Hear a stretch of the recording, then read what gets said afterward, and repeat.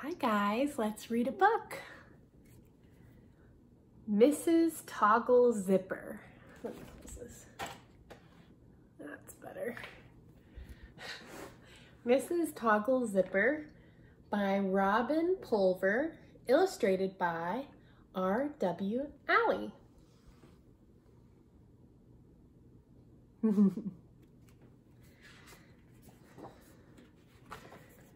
Mrs. Toggle Zipper.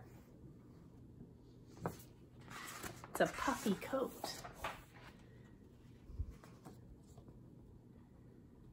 Mrs. Toggle Zipper.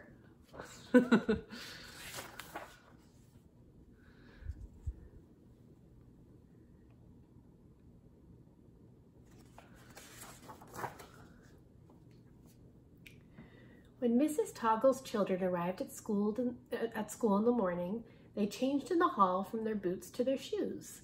When the bell rang, they picked up their boots and book bags and marched along to their room. They stuffed boots and bags into their cubby holes and hung up their coats. Then they sat down at their desks. Good morning, Mrs. Toggle, the children said in their best morning voices. Good morning, class, said Mrs. Toggle in an unusually grumpy voice. How do you think she said it? Good morning, class. Is that a good grumpy voice? Good morning, class. Then the children noticed that Mrs. Toggle was still wearing her coat, the big, puffy, fuchsia-colored one that she got for Christmas. Mrs. Toggle, yelled Joey, you forgot to take off your coat. I didn't forget, said Mrs. Toggle uncomfortably. I can't take it off because the zipper is stuck. I'm afraid it's going to be a long, hot day. How'd the zipper get stuck? Nina asked. Mrs. Toggle fanned her face. How does any zipper get stuck? First, a tiny bit of cloth gets caught in it, then you pull and keep pulling a little too hard, and before you know it, you're trapped in your coat like a hand in a cookie jar.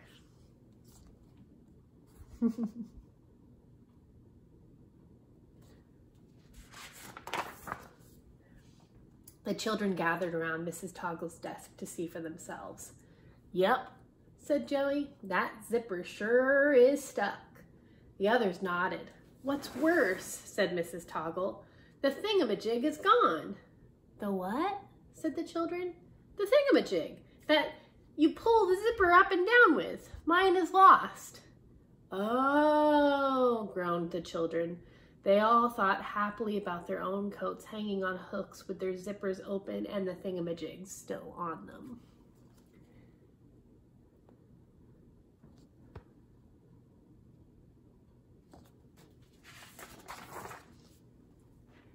Maybe we can help, said Caroline.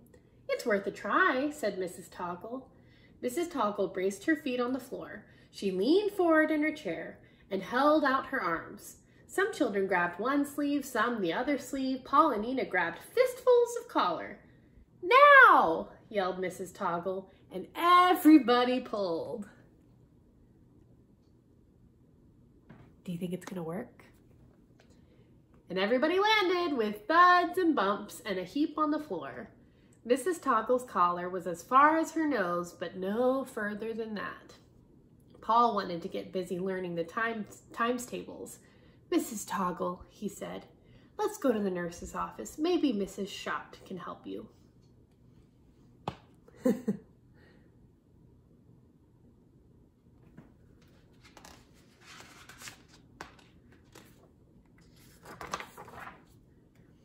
So Mrs. Toggle and the children trudged down to the office of Mrs. Schott, the school nurse. When Mrs. Schott saw Mrs. Toggle's hot red face, she reached for the thermometer and popped it into Mrs. Toggle's mouth. Mrs. Toggle shook her head. Don't talk with a thermometer in your mouth, said Mrs. Schott sternly. I'll telephone your mother. mumbled Mrs. Toggle. Mouth closed, ordered Mrs. Schott.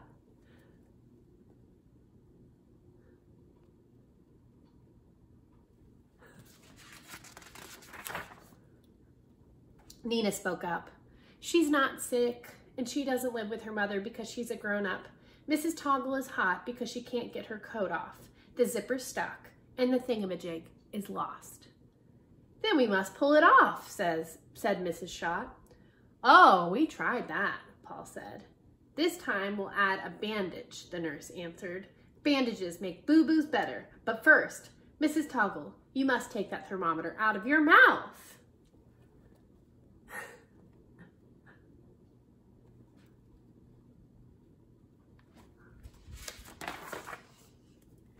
Mrs. Schott stuck a bandage on the zipper where the thingamajig was supposed to be. Then she pulled and the children pulled and they all ended up with thuds, bumps, and bangs on the floor of Mrs. Schott's office. Uh-oh. Mrs. Toggle's collar was as far as her nose, but no further than that. Mrs. Schott shook her head. I must call the principal. He'll know what to do with you.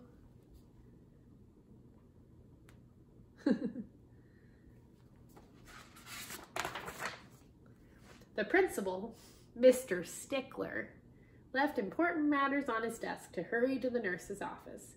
Mr. Stickler frowned when he saw Mrs. Toggle. Mrs. Toggle, it's against school rules to wear your coat all day. I am sorry, said Mrs. Toggle, but I can't take my coat off. The zipper is stuck.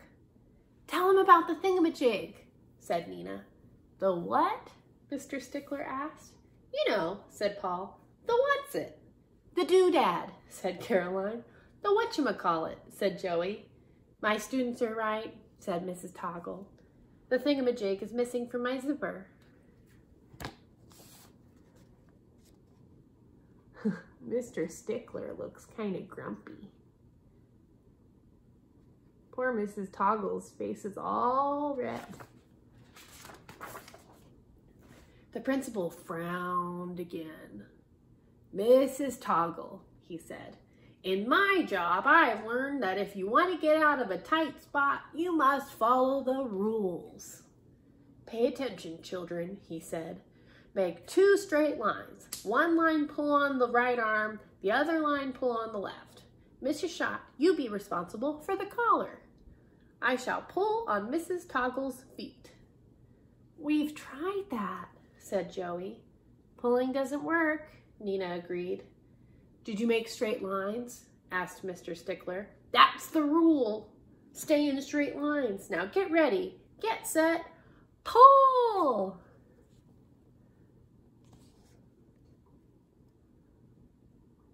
What do you think's gonna happen? Look, they're forming the letter Y.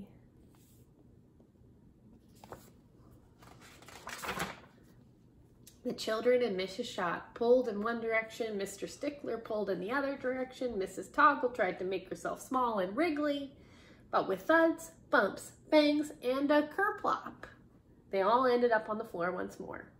Mrs. Toggle's collar was as far as her nose, but no further than that.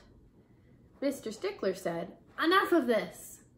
We don't want holes in the school floor just because of Mrs. Toggle's zipper. I'm calling the custodian. I'm afraid he'll have to cut this coat off. No, yelled the children, and Mrs. Toggle cried, never.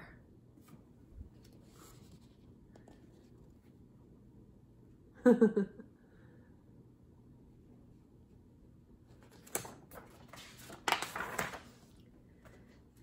custodian, Mr. Abel, arrived wearing his big work apron.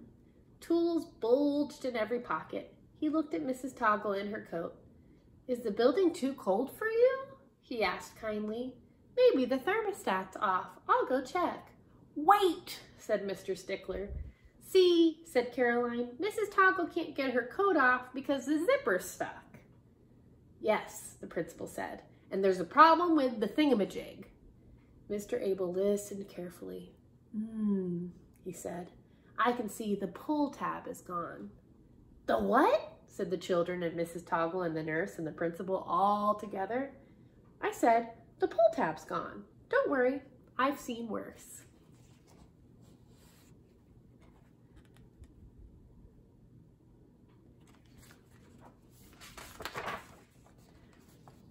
Mr. Abel pulled a pair of needle-nose pliers out of one huge apron pocket. He used the pliers to loosen the grip of the zipper's metal teeth on the shiny fuchsia colored lining of Mrs. Mrs. Toggle's coat. Gently, with his large fingers, Mr. Abel eased the lining away from the teeth. Then he slid the zipper down, down, down. It opened completely. Mr. Abel helped Mrs. Toggle off with her coat. A happy smile spread over Mrs. Toggle's face. Mrs. Schott and Mr. Stickler and the children cheered. Whew. Success. You should get a new pull tab for that zipper before you zip it up again, said the custodian. I surely will, Mr. Abel, said Mrs. Toggle. I am forever grateful to you. The principal went back to important matters. Mrs. Schott rushed off to check a child for chicken pox. Mrs. Toggle and the children traipsed back to their room to tackle the times tables.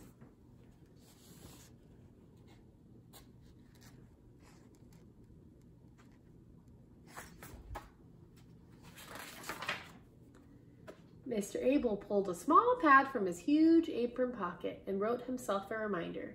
Remember to look up thingamajig in the dictionary.